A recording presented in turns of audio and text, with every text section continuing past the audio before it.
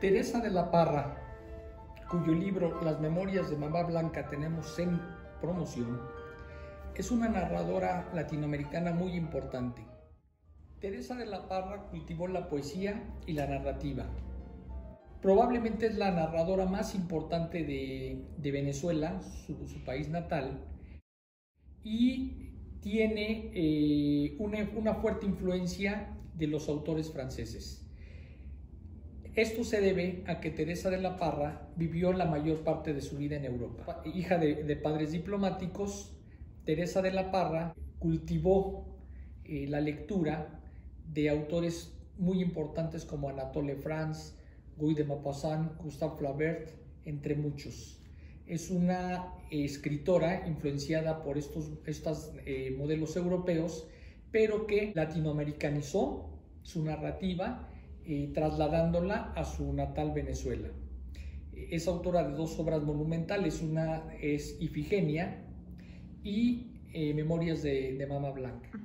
Al inicio de su carrera, Teresa de la Parra tuvo muchísimas restricciones por parte de, los editores eh, locales, con una actitud machista, pocas oportunidades le dieron a ella como narradora.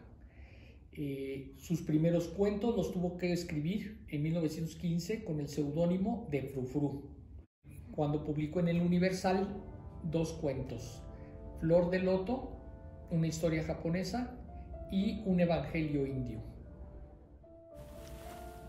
Las Memorias de Mamá Blanca fue publicada en 1929. Esta fue su segunda novela, después de Ifigenia, y es considerada un clásico de la literatura hispanoamericana. A propósito de las pasiones de Mamá Blanca, escribe de la Parra. La música fue siempre la gran pasión de su vida. Cuando sentada al piano, lograba apresar entre sus dedos la corriente de comunión divina que une al compositor con el ejecutante, al igual de los santos en éxtasis.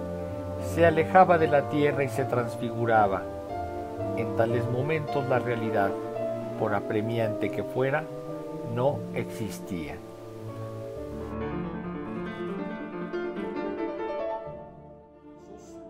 Eh, Teresa de la Parra, que es de las primeras voces feministas que aparecieron en el continente en materia de narrativa. Quédate en casa leyendo.